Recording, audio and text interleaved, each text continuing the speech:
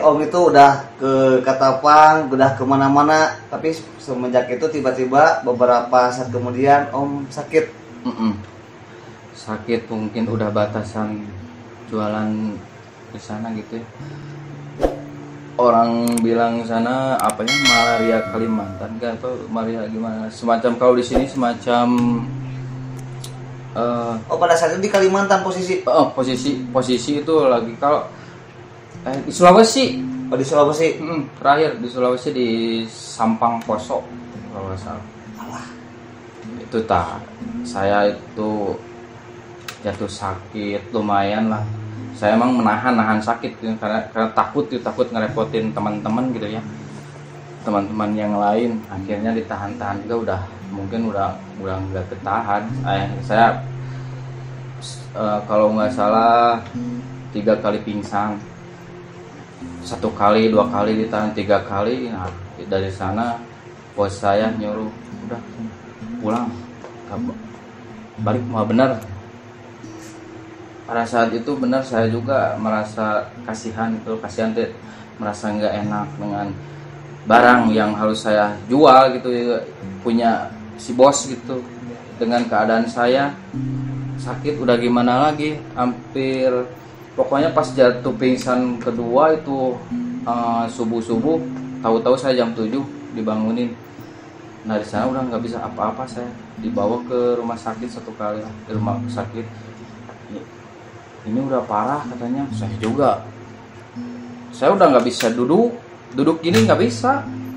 Di kursi juga nggak bisa gini aja terus. Akhirnya saya ditidurin di rumah sakit di ruang Itu tunggu. sakit apa itu Om?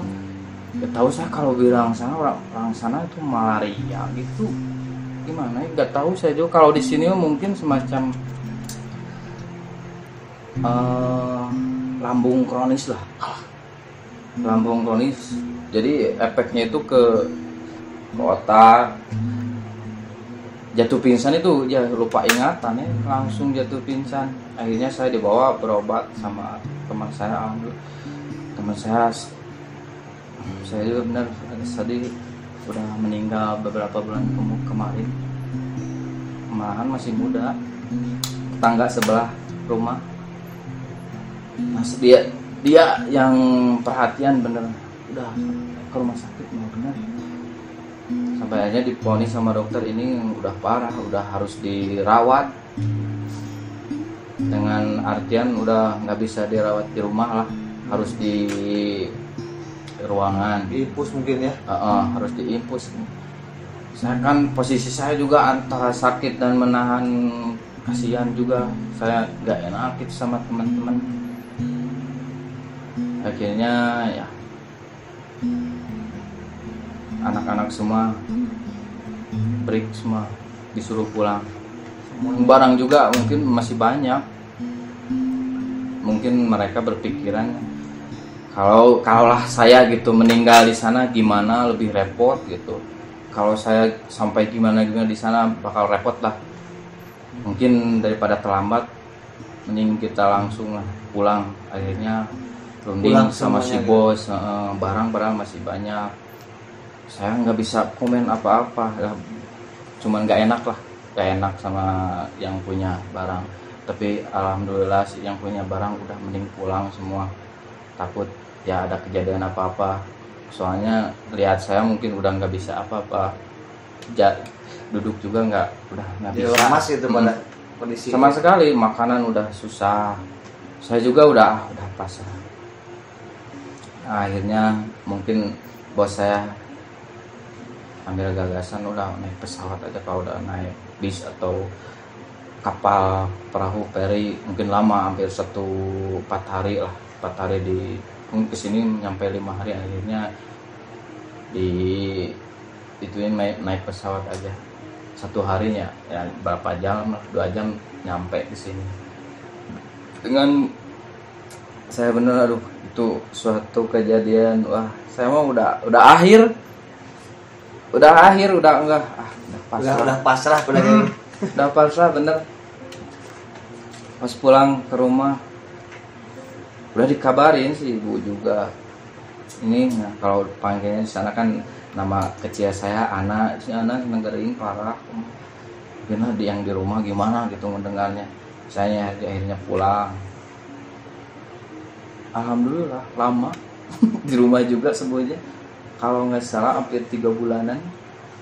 Penyembuhan pemulihan hampir tiga bulan. Itu kira-kira faktor yang menyebabkan itu apa itu? Apakah telat makan itu om pada saat itu atau gimana terbuai karena ingin tetap jualan sehingga lupa makan. Kalau lambung mungkin? Nggak tahu dah. Mungkin lah kalau lagi jualan kadang-kadang eh, gimana kan jualannya ada yang deket ada yang jauh. Kalau yang jauh kan kita start target itu dari subuh. Kadang mungkin antara faktor kelelahan kedinginan kosong badan ke kosong emangnya itu di kosan pada kalau lagi di luar di kosan di kosan itu ke setiap jualan mungkin dikarenakan ya gimana? Kosannya nggak tahu kurang bersih gimana? Tapi om ini mohon maaf sekarang yang jadi bos celengan om itu sekarang di mana? Ada masih ada Oh, masih ada. itu depan rumah saya. Itu depan rumah saya masih ada. Ya yang yang yang eh, sangat dekat mah yang meninggal kemarin. Namanya itu Bapak Au Lukman. Nah dari sana udah saya udah nggak bisa aktivis profesi lagi. Ibu juga udah berobat ke dokter ke mana. Udah saya cuman udah pasrah pasrah. Saya juga badan juga hampir kata orang mah disebutnya bukan putih gitu ya. Kayak yang udah habis lah pias orang sudah pias. Pucat. Heeh, udah pucat. Keluar teh pucat teh nggak ada merah-merah tanda-tanda hangat badan. Udah pasrah benar saya juga. Mungkin ah saya gimana? Mau berontak mau gimana juga diobati dan akhirnya tiga bulan kemudian sembuh. Oh akhir akhirnya udah berobat apa apa udah di obat alternatif obat dokter obat eh, udah gampang pan. Tapi udah saatnya sembuh. Obatnya juga nggak gimana ya? Obatnya nggak nggak bagus nggak istimewa. Saya juga emang mungkin udah udah takdirnya udah harus sembuh gitu ya segitu. Saya eh, pada eh, lagi kumpul gitu ya di depan rumah mencet mama supayangkeun supayangkeun mete ieu wae sama teu muriding we moyan nah, akhirnya ada tetangga. Tetangga sebelah. Main. Kebetulan ada bapak ada mang ngeriung ngedirayung kunaon budak teh sana. Dah. Beri nggak silah mah teu sager cager sana gelingan jangan salah tinggali. Saya nggak tahu mungkin rahmat. Ya udah. Rezekinya dari Allahnya. Perantaranya si bapak itu kunaon sah geus lila itu sager dek dua bulan dek tilu bulan kieu we terus mah. Lamun peting senang ngurumput lamun berang cikan ujag-jag mun maghrib senang kurupuk jauh ngegelap teu bisa nanaon deui ah senang kalau hik senang tinggali saya juga ya begini aja diem sambil duduk. Sih saya tadi ayat kertas kenal Mang Asep. Cek si emak teh sok ka dieu sana bawa obatan karunya sana umumnya sana. Udah ngorak kieu sana nguyupuk kieu saya teh persenyum we. Iya heeh kumaha hati nu kasep teh kieu wae. Nggak tahu sa apa itu obat tetrasilin. Butir tiga ribuan kalau nggak salah nggak tahu 2500an itu. Ada satu lagi nggak tahu apa. Pokoknya nggak nyampe puluhan ribu puluhan juta itu kalau nggak salah paling sepuluh ribu. Nah ini belikan eta sengaja apotek Heeh, turun cobaan. Cobaan saya makan. Biasa ya satu hari nah, nah pas malam kan saya makan pas pagi-pagi. Kerasa gitu haranet gitu beda di kamari-kamari gitu waktu na ke iya di obat di kumaha ge? Tiis we ngoprotna teh lain kesang haneut gitu. Tiis we ngucrak nah pada pas malam oh, makan obat malam kalau nggak salah udah isa lah. Saya makan tidur. Nah subuh itu serasa ada kehidupan gitu. Beda gitunya. Saranut gitu. Ah. Saya saya juga sambil sampai ke mak ngegorowok tuh mak mak naon anak. Hayang tuang gitu ya mah. Oh terus nah coba. Apa mungkin sanggup gitu nya? Di endog we ngumpul alhamdulillah nu tadina SG masuk gitu enak. Minum enak. Ah enak. Obat teh ya sini oh sok iya deh sini minum deh minum deh isuk-isuk abis teh. Sarekeun teh ku saya jam 10 udah. Jawa gairah jo hayang hayang bangun hayang hudang gitu. Geus diobat eta teh. Sangeuna akhirnya teh teh dengan semangat gitunya ah saya sembuh dengan dicager gitu. Dicager. Akhirnya keluar serangan moyan ke serangan teh kudu dititah moyan teh. Serangan. Akhirnya teh menelempang teh mah jadi semangat. Lelempangan lelempangan genah genah akhirnya kalau nggak salah sekitar eh, penyembuhan hampir sebulan dua minggu. Udah kerasa udah fit alhamdulillah sehat. Alhamdulillah ya Allah cinta disehatkan deui sugan teh semua sehat deui nya ieu raga deh. Nah dari sana teh nggak kapok-kapok saya. Udah sebulan lebih ikut lagi jualan. Jualan terakhir ah, terakhir teh jualan. Kalau nggak salah ke, ke Bau- Bekasi kalau nggak salah ke Bekasi dapat dua kali balikan. Nah udah dari sana kamu kebetulan saya mungkin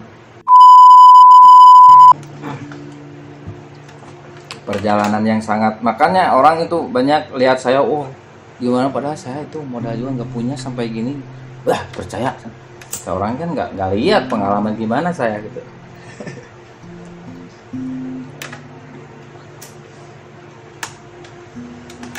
Jadi nggak warung ya Kang?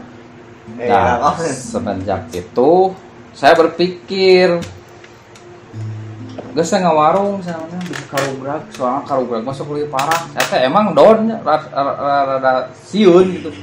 Wah, so, eh, asli sih. Orang ada dagang dulu, si bos yang dulu teh, aneh nggak dagang, eh dia nggak warung kan. Dan emang saya udah udah nggak jualan ukur ikut lah dua kali itu. Ya emang emang sema- se- semacam pengen keluar aja lah gitu ya. Eh, dengan bujukan ulun si bos udah ngewarung kan kayak orang bebeja bapak kebetulan kan bapak eh, punya pekerjaan di bidang bangunan. Saya ngomong pak naon iya cinte mang au nitah ngawarung warung ada ditutup cinte pinahkeun ka dieu. Nah naonna pokoknya bawa weh ulah dibayar. Kayak bayar geus buah duit. Dan emang saya nggak mau gak, gak punya modal gitunya. Kan habis wah, sakit lah nah, kalau diceritain mah pas sakit juga waktu di Sapang cuman punya satu juta setengah itu kan dipakai pesawat pas ke rumah sisanya berapa gitu Ah, pokoknya mah ke mungkin makan kama deh ya gitu gitu deh mungkin mah waktu ngewarung itu berapa lama itu? Tahunan Nah. atau bulanan? lumayan lama lama juga Oh, lama juga. Tapi ini Om, kenapa Om harus bisa gitu ya kepikiran tentang yang namanya suatu ini teknik elektronika gitu? Kenapa harus kepikiran ke sini gitu? masih jauh Aduh masih jauh itu. masih jauh masih jauh Oh jadi udah ngewarung gitu? Enggak, udah udah saya selesai break jualan celengan itu masih jauh ke bidang yang gini. Hmm, Saya itu yang akhirnya bapak sok bikin warung di wayangna kamar. ya kan? kamar kamar mana ngejieun weh jendela unggul kayak ku bapak dijieun pokoknya nyawa beres mana cuman bapak nanya ada boga modal itu keur warung ada kumaha tuh dagang kurang modal. Ya akhirnya saya gak tau lah cinta itu mang Aud suruh jualan nanti kadirkeun kayak geus boga duit bayar jualan di dieu nah bayar tuh itu mah jeung jeung ilas-ilasna bawa bawa ka dieu saya cuman punya modal itu HP dulu itu eh, waktu beli di Ternate Sulawesi Nokia, ya, Nokia. Ternate Nokia 7 genep 10 itu saya beli 2 juta 200 tah iya we, pak itu orang jual. Modal ada itu buat duit. Iya we, hungkul modal orang jual. Ke Majalaya ke toko HP ya saya jual. Beli 2 juta 200 padahal dulu masih mahal. Cuman laku kalau nggak salah 1 juta 1 juta genep ratus. 1 juta 600 terus saya di potong kalau nggak salah pernah, punya hutang lah dilunasin sisa kalau nggak salah itu 9 juta nggak tahu 900 900 ribu kalau nggak salah. Udah aja segitu. Modal hidup usaha saya. Saya juga bing, ibu juga bingung. Kumaha mahi mah. Tidak mau teu boga duit mau merek. Bae mah ku diberena oge ieu cinta ku mang au dagang ku si bapak panginten alhamdulillah. Cuman mungkin karena sayang ibu lah kalau nggak salah saya dikasih di tambahan 500 ribu atuh nama sing lain kayaknya saya bergelut lah keluar ngewarung gitu. Jualan juga paling jualan kalau semacam obat beli paling 5 biji semacam makanan anak-anak lah yang diutamain mah. Makanan oh, ya modal-modal yang ringan aja minuman. Kalau dulu kan bikin minuman teh itu modal berapa? Kalau dibikin sendiri kan lumayan. Mau perlengkapan warung juga kulkas wah dari mana? Seadanya aja dulu. Lama itu pada Wah, waktu warung. lama nggak ada es teh dingin. Es teh aja tuh. Oh, ya setelah ngawarung emang apa sih om? Apa? Sih setelah ngawarung? Nah, kalau setelah ngawarung, tak dari sana saya mu, mungkin kalau nggak salah saya ngawarung sekitar dua tahun tiga tahun hampir maju, alhamdulillah om. Warung juga. Kalau saya bilang warung saya kalau dari modal sa- sa- satu juta kalau ditambahin sama ibu itu saya belanja tiap hari belanja udah jam 9 malam lihat yang habis aja. Saya cuman inti dikasih ilmu dagang sama ibu bener. Sama ibu dari dulu emang suka jualan gitu. Pernah buka warung dulu. Cek ibu teh nah kieu sana dagang mah nu penting mah modal eueuh ge modal saeutik ge. Anu ayah lah senang lamun aya konsumen. Ingat abi mah mun aya senang nu meuli nanyakeun eueuh gancang catetkeun ingat abi mah eta ilmu ti indung gitu nya ti ngaran jadi indung mak oh gitu mak pokoknya mah Oke, guys ditulisan dek dibelikan mah Pak. aya duit belikan, oh duit yang kayak deui. Oh gitu tuliskan ya tuliskan, mun aya mah belikan. Akhirnya saya keinspirasi gitu nya ku mas. Oh gitu. Tiap malam terus maghrib bisa Wah, nu eueuh. Nu eueuh, saya dari tinggali oh iya tulisanan nu eueuh. Enak balanja cek berbeda yang iya aya nu iya keneh. Ah balanyakeun kanu ieu nanyakeun tadi dua cek berbeda asal aya lah asal ada we gitunya buat dijual. Supaya si konsumen pas balik lagi nanyain ada. Nah etas nah utama nama cek mata oh gitu siap mak akhirnya bergelut sendiri. Sampai al- alhamdulillah akhirnya maju. Dan kalau nggak salah satu tahun langsung perlengkapan warung perlengkapan bangunan juga alhamdulillah bisa. Buat sendiri alhamdulillah bisa. Buat pengen kendaraan juga wah jauh-jauh. Udah satu tahun lebih dua tahun jauh baru yakin pengen gitu ya. Ya itu juga kredit Alhamdulillah. alhamdulillah kredit gitunya ada ai cash mah aduh itu acisna usaha ge ya yang bergerut bergerut sampai akhirnya maju maju maju. Kalau di kalau dibilang itu kalau di warung saya diem diem satu detik lima detik udah ada yang beli. 10 detik udah ada yang beli. Pokoknya mah sampai jam 9 itu baru istirahat. Mungkin itu udah milik saya terus akhirnya terus terus saya jalani terus jalani segala pokoknya hampir belanja juga. Wah jauh lah.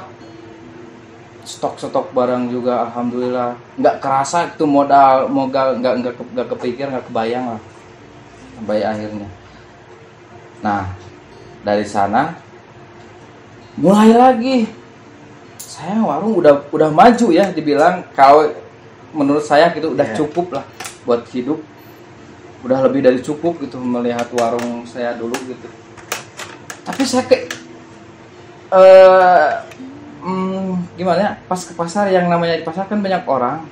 Nah dari sana saya pas belanja pas belanja belanja saya ke pasar. Sebelahnya itu ada toko counter. Mas saya nggak ngerti itu beli apa. Saya nanyain ke Bu Haji yang punya jongkok Bu Haji ah itu jualan naon asal lo bawa nu meuli tapi mau naon teu maralawan naon. Eh itu teh jangan nah teteh dagang pulsa sana.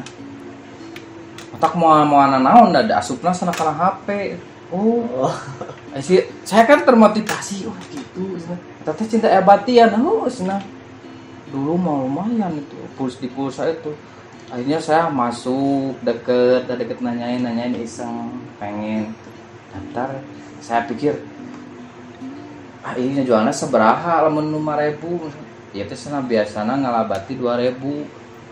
Saya kaget ah. Saya mah gitunya ng- ngawarung ngalabati paling 500 gitunya.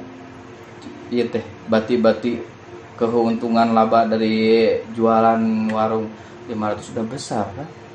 Paling yang untung 1000 2000 itu mungkin dari bar- barang-barang yang modalnya emang mahal.